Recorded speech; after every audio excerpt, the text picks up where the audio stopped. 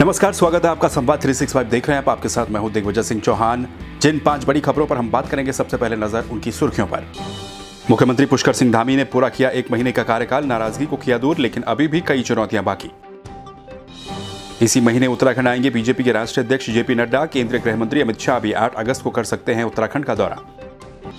मुख्यमंत्री पुष्कर सिंह धामी ने oxygen concentrator को दिखाई हरी झंडी, बोले अगले चार महीने में करेंगे, प्रदेश का शत प्रतिशत टीकाकरण। सीएम ने ली आज़ादी के अमृत महोत्सव की तैयारियों की समीक्षा। बोले, ग्राम पंचायत स्तर तक आयोजित किया जाएगा अमृत महोत्सव। सीबीएसई दसवीं का रिज़ल्ट जारी निन्यानवे दशमलव दो तीन फ़ीसदी रहा देहरादून रीजन का रिज़ल्ट निन्यानवे दशमलव पाँच एक प्रतिशत छात्राओं ने मारी बाजी।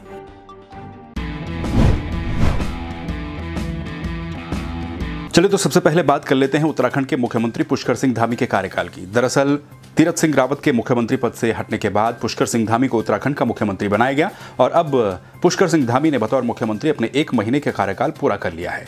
पुष्कर सिंह धामी के मुख्यमंत्री बनने के बाद से ही उनके सामने कई तरह की चुनौतियाँ थी। उनके इस एक महीने के कार्यकाल में उन्होंने ये भी दिखाया है कि उन चुनौतियों से वो किस तरह से धीरे धीरे पार पा चुके हैं। कई समस्याएँ ऐसी उनके सामने थी जिनको उन्होंने सुलझा लिया है। इनमें एक तरीके से ये कहा जा सकता है कि सरकार के अंदर ही, बीजेपी के अंदर ही जो नाराज़गी की खबरें उनके मुख्यमंत्री बनने से शुरू हुई थी, उन नाराज़गी की खबरों को उन्होंने दूर करने की कोशिश की और उसमें उन्हें कामयाबी भी मिली। आपको याद होगा कि जब कैबिनेट का शपथ ग्रहण समारोह था तो उससे पहले ही कई मंत्रियों की नाराज़गी की खबरें भी सामने आ रही थी, लेकिन उसी दिन मुख्यमंत्री पद की शपथ लेने से पहले ही पुष्कर सिंह धामी ने उन नाराजगियों को दूर किया। उसके बाद कैबिनेट में जो विभागों के बंटवारे हैं, वो होते हैं। कई मंत्रियों को उनके पसंदीदा विभाग मिलते हैं, भारी भरकम विभाग मिलते हैं। यानी कि ये जो नाराज़गी थी एक एक महीने के कार्यकाल के दौरान, उसके बाद ये नाराज़गी दोबारा कभी देखने को नहीं मिली। लेकिन क्या इसी तरह की स्थितियाँ आगे भी जारी रहेंगी ये कहवाना काफ़ी मुश्किल है, क्योंकि अभी भी पुष्कर सिंह धामी के सामने नाराज़गी को लेकर काफ़ी सारी चुनौतियाँ हैं। बात अगर करें कामकाज की तो क्योंकि समय पुष्कर सिंह धामी के पास काफ़ी कम है।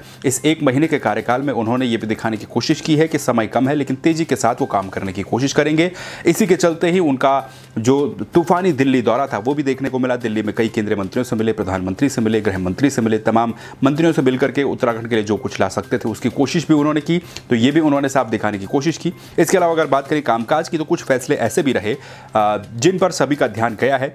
चाहे इनमें जो हाल ही में कैबिनेट ने जो फैसले लिए थे, जिसमें कि जो प्रतियोगी परीक्षाओं की तैयारी करने वाले छात्र हैं, उनको प्रोत्साहन राशि देने की बात हो, या फिर जो पहले कैबिनेट की बैठक में उन्होंने संकल्प से शुरुआत की थी, उसकी बात हो, कोविड प्रभावितों के लिए जो राहत पैकेज 200 करोड़ रुपए का पैकेज जिसका ऐलान किया था, उसकी बात करें, या फिर जो चिकित्सा क्षेत्र के लिए 205 करोड़ के प्रोत्साहन पैकेज का उन्होंने ऐलान किया था, ये दो महत्वपूर्ण पैकेज थे जिनका उन्होंने ऐलान किया था। उपनल कर्मचारियों की मांग के लिए उप समिति के गठन की बात हो, अतिथि शिक्षकों के वेतन को बढ़ाने की बात हो, इस तरह के फैसले भी उनके चर्चाओं में रहे। यानी कि ये कहा जा सकता है कि एक महीने के कार्यकाल में पुष्कर सिंह धामी ने एक तो नाराज़गी को दूर करने का काम पार्टी के अंदर, अपने संगठन के अंदर सबसे महत्वपूर्ण काम ये किया। उसके अलावा जो बाकी के उनके स्टेप रहे, फैसले रहे, नौकरशाही को लेकर ब्यूरोक्रेसी में मुख्यमंत्री बनने के बाद ही उन्होंने जिस तरह के बड़े बदलाव किए, उस, उससे भी उन्होंने ये दिखाने की कोशिश की है कि भले ही वो युवा हैं, लेकिन फैसले लेने की क्षमता उनके अंदर है। बहरहाल, अभी मात्र एक महीने का कामकाज ही हुआ है। आगे बहुत लंबा कामकाज बाकी है और चुनौतियाँ भी काफ़ी सारी पुष्कर सिंह धामी के सामने होंगी। चलिए बात कर लेते हैं बीजेपी के राष्ट्रीय अध्यक्ष जेपी नड्डा को लेकर। दरअसल बीजेपी के राष्ट्रीय अध्यक्ष जेपी नड्डा इसी महीने देहरादून आएँगे। ये जानकारी मिल रही है। हल्द्वानी में पूर्णकालिकों की कार्यशाला का आयोजन किया जाएगा। उसमें वो शामिल होंगे। तो क्योंकि दो हज़ार बाईस में विधानसभा के चुनाव होने हैं, इससे पहले बीजेपी कार्य समिति की बैठकें हुई हैं। अलग अलग जगहों पर अलग अलग बैठकें होंगी। इसका रोड में बीजेपी की तरफ़ से तैयार किया गया था। ये कहा गया था कि राष्ट्रीय अध्यक्ष, प्रधानमंत्री गृह मंत्री को उत्तराखंड बुलाया जाएगा। जल्द ही उनके दौरे फिक्स किए जाएँगे। तो खबर ये मिल रही है कि जो जेपी नड्डा है, जेपी नड्डा इसी महीने देहरादून आएँगे, दो दिवसीय दौरे पर वो यहाँ पर आएँगे, उनका कार्यक्रम तय किया जा रहा है। हालाँकि जेपी नड्डा किस तारीख को देहरादून आएँगे, उत्तराखंड आएँगे, इसको लेकर अभी डेट फिक्स नहीं है, लेकिन जो संभावना जताई जा रही है, बीस या फिर इक्कीस अगस्त को दून प्रवास वो कर सकते हैं। इसके अलावा या फिर वो विधानसभा सत्र के बाद ही उत्तराखंड आएँगे।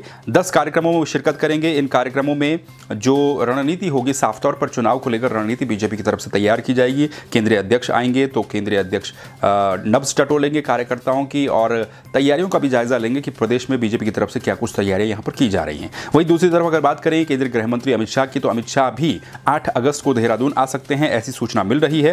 अमित शाह आठ अगस्त को उत्तराखंड दौरे पर आ सकते हैं, ये बताया जा रहा है कि वो आईटीबीपी के कार्यक्रम के लिए पहले देहरादून आएँगे, उसके बाद उत्तरकाशी के नीलांग घाटी का कार्यक्रम उनका बन सकता है। हालाँकि ये भी फिक्स नहीं है, लेकिन सूत्रों से जानकारी मिल रही है, वो यही कहती है कि 8 अगस्त को मसूरी की पहले तो आईटीबीपी अकादमी में केंद्रीय गृह मंत्री अमित शाह आ सकते हैं, वहाँ पर एक कार्यक्रम में शिरकत करेंगे, उसके बाद सीमांत ज़िले उत्तरकाशी में वो जाएँगे, जहाँ पर भी उनका एक कार्यक्रम तय हो सकता है। तो इसके अलावा भी चुनाव को लेकर और 2022 में, क्योंकि चुनाव होने हैं, उसको लेकर भी कुछ बातचीत होने की संभावना है, यानी कि बीजेपी के दो बड़े नेता, अमित शाह और जेपी नड्डा, इस महीने उत्तराखंड आ सकते हैं, अपने दौरे पर आ सकते हैं। चलिए बात कर लेते हैं, उत्तराखंड में चल रहे टीकाकरण अभियान की। दरअसल मुख्यमंत्री पुष्कर सिंह धामी ने उत्तराखंड में चल रहे टीकाकरण अभियान को लेकर एक बयान दिया है और टीकाकरण आगे किस तरह से करवाया जाएगा, उसको लेकर उन्होंने बयान दिया है। दरअसल मुख्यमंत्री पुष्कर सिंह धामी ने अपने कैंप कार्यालय से एक्सिस बैंक के द्वारा दी गई ऑक्सीजन कंसंट्रेटर को उन्होंने हरी झंडी दिखाकर रवाना किया। इस दौरान उन्होंने एक्सिस बैंक का धन्यवाद भी अदा किया, जिन्होंने की कोरोना से निपटने के लिए ऑक्सीजन कंसंट्रेटर दिए हैं।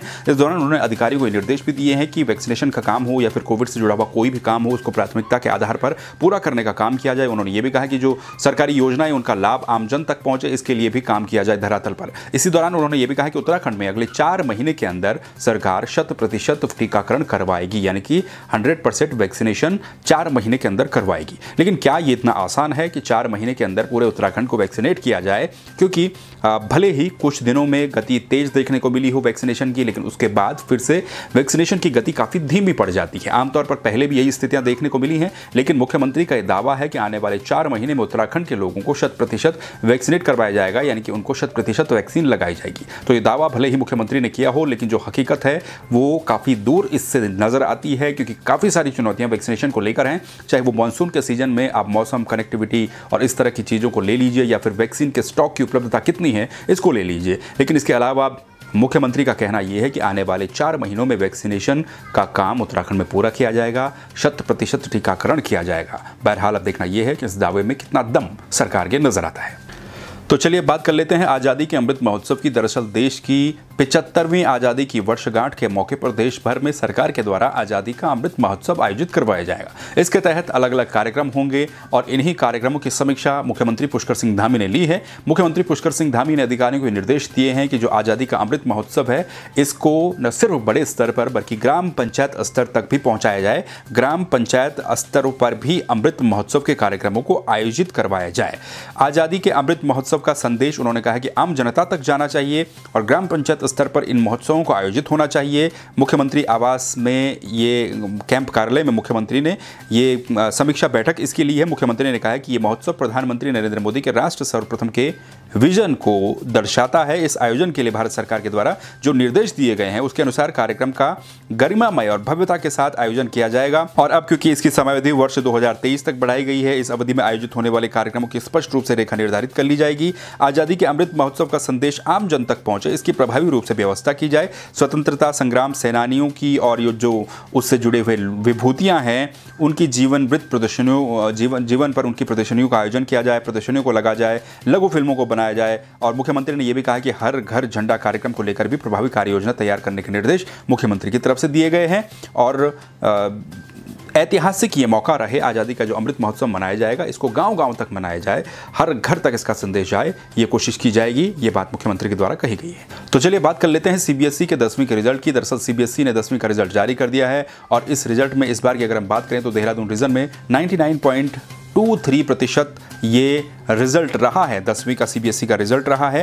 आ, कुल जो पंजीकृत छात्राएँ थी तैतीस हज़ार छः सौ अड़तीस देहरादून रीजन में थी, जिसमें कि उत्तराखंड के सभी तेरह ज़िले आते हैं और कुछ ज़िले यूपी के भी इस रीजन में आते हैं।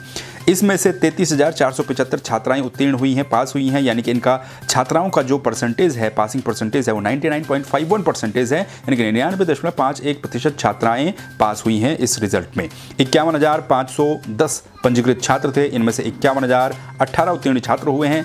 इनका रिज़ल्ट छात्रों का जो रिज़ल्ट रहा है, वो 99.04 परसेंटेज रहा है, यानी कि निन्यानवे दशमलव शून्य चार प्रतिशत छात्र पास हुए हैं। कुल मिलाकर के निन्यानवे दशमलव दो तीन प्रतिशत देहरादून रीजन का रिज़ल्ट रहा है। छात्र छात्राएँ पास हुए हैं। ये आंकड़ा है, ये पिछले साल से नौ दशमलव पाँच एक प्रतिशत ज़्यादा है, यानी कि पिछले साल देहरादून रीजन में दसवीं में eighty nine point seven two percent result रहा था, इस बार ninety nine point two two three percentage result रहा है, और कुल मिलाकर के नौ दशमलव पाँच एक एक फ़ीसदी का इजाफा इस बार के इस रिज़ल्ट में देखने को मिला है। सभी छात्र छात्राओं को हमारी तरफ़ से भी ढेर सारी शुभकामनाएँ। आपका भविष्य उज्जवल हो। ये थी उत्तराखंड के अभी तक की टॉप फाइव खबरें।